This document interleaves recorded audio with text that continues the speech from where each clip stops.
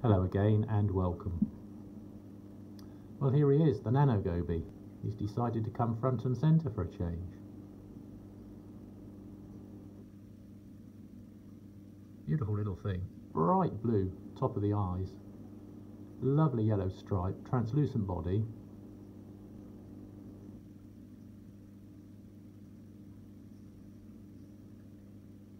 And the Goby, bless him, the big Goby, making yet another home. we'll have a look at him later. But uh, since the, the Nano Goby is so reclusive, it's really nice to see him coming out here. I thought uh, we'd take a shot. I also wanted to just show you um, that one of the hermit crabs has moved out of one shell and now into another. So it'll be easier to see now because he's got into a, a quite a bright white shell, which is nice. I will try and move the camera over in a minute so we can see that, but let's just, you can just see this Nano Goby just sits. Doesn't move, he just sits.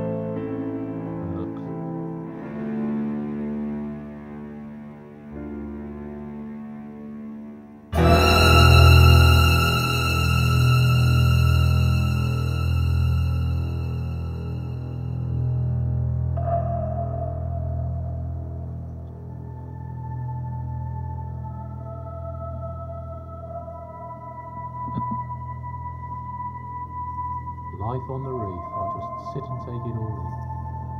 One of the things that's interesting to me is this Goniopora.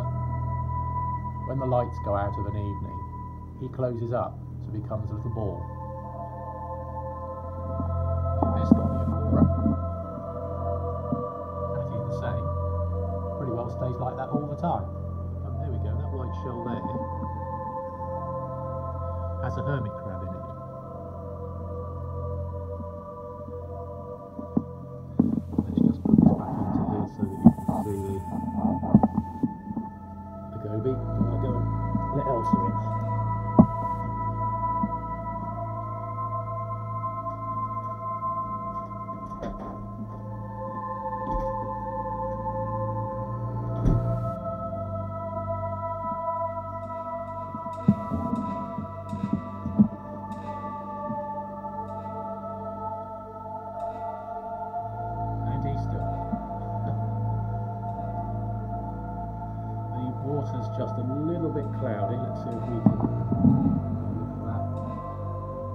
See all those bits in there. That is purely down to the Goby excavating his, potentially, is his new home.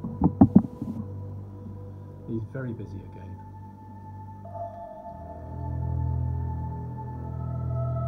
The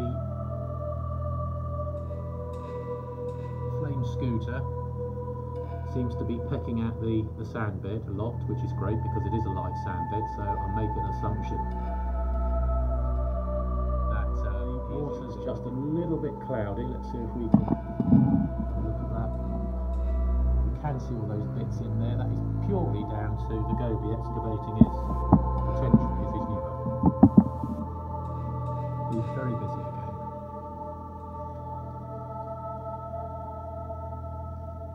the flame scooter seems to be pecking at the, the sand bed a lot, which is great because it is a live sand bed, so I make an assumption that um, he is eating. He didn't want to eat any of the mysis I put in this morning. Again, it's quite interesting because the I put the pipette right up to him and he just didn't move and he wasn't interested in the food at all, so one can only assume that he is actually eating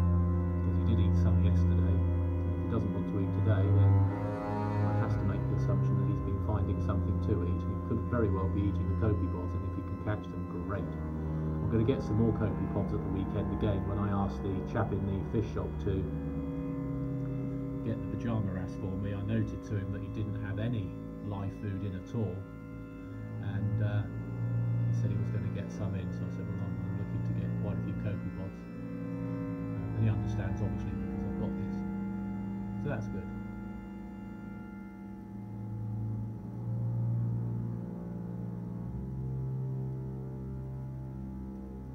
this orange fungus is just lovely.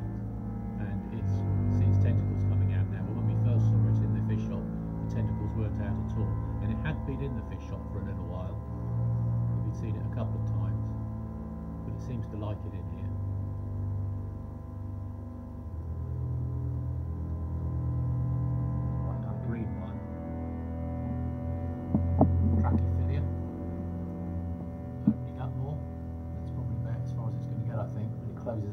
Time a little bit.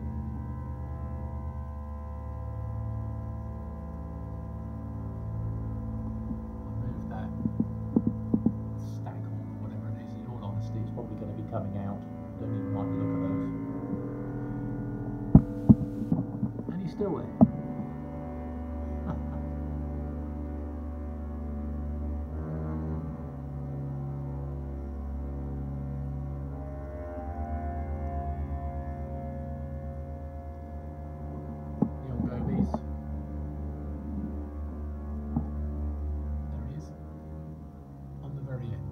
Like. He's been there quite a lot today, on and off.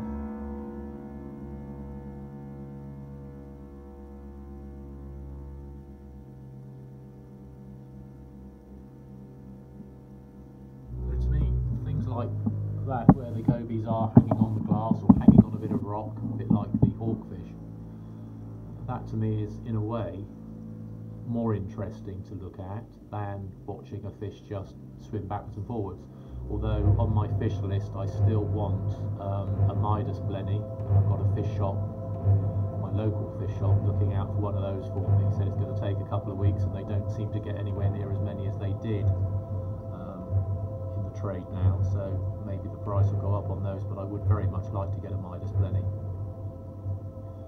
And um, probably a one spot fox face, which will, will fit into this tank, and a Kole yellow eye tang.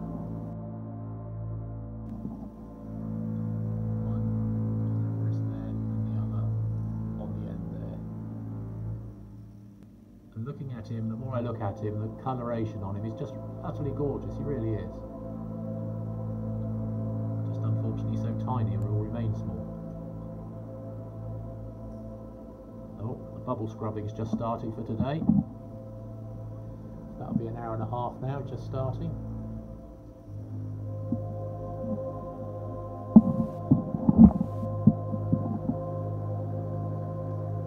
Definitely improving the water quality, definitely improving it. Very, very happy with that. So again, um, shout out to Reefgrrl for that one, RWF, GWRL. as I was watching. I watched a couple of other YouTubers that tried bubble scrubbing, but they didn't seem to follow up or go into it in great detail, whereas Reefgrrl did. And it's helpful to see, it's helpful to know, and then get follow up. This does not in any way, shape, or form appear to be harming anything in the tank. Even the, uh, say, the peppermint shrimp comes out sometimes and actually bathes in the stuff. All the other fish just effectively ignore it, and swim through it, do whatever they want to do, no issues at all.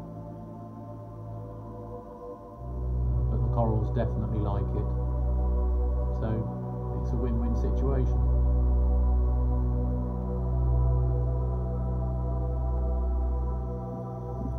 I think I'm going to need to move the return pump forward just a fraction so we do get more bubbles.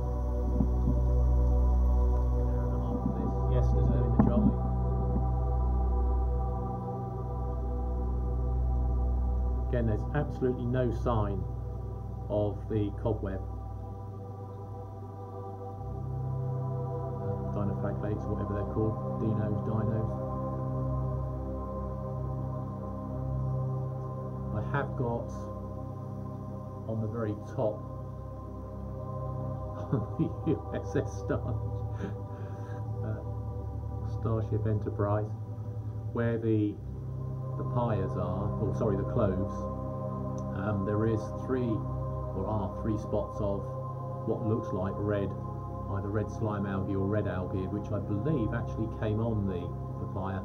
Tried cleaning it off at the time, didn't want to come off um, it seemed on whatever it was, so I left it, either rightly or wrongly, and there are some very light pink patches up there which I will use the either the turkey baster or the, the long. I've got a, a sort of a just over two feet long pipette which um, I can use to squirt and that gets right down to the bottom of the pipette uh, and allows me to feed the, the scooter.